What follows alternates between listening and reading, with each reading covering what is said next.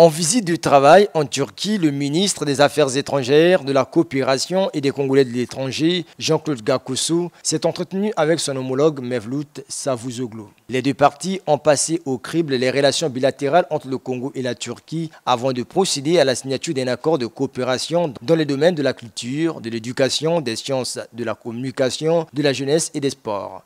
Le chef de la diplomatie congolaise est revenu au cours d'une conférence de presse sur le bien fondé de la coopération qui lie les deux pays.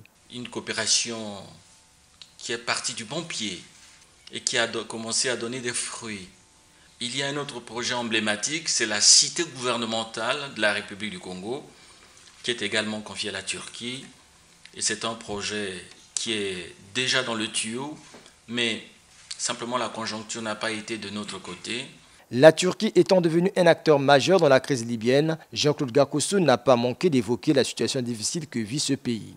Il me semble que l'arrivée de la Turquie euh, a, équilibré la situation sur le terrain et a permis finalement le dialogue, puisque la situation est équilibrée, euh, d'autant plus que les, les Turcs sont arrivés là-bas sur invitation du gouvernement qui est reconnu par la communauté internationale. Cette visite s'est soldée par l'engagement de la société Souma d'origine turque à répondre les travaux inachevés à Kintele. Dans le cadre de la lutte contre la pandémie à coronavirus, la Turquie a remis des équipements de lutte contre cette pandémie constitués des respirateurs, de 5 tonnes de masques et réactifs.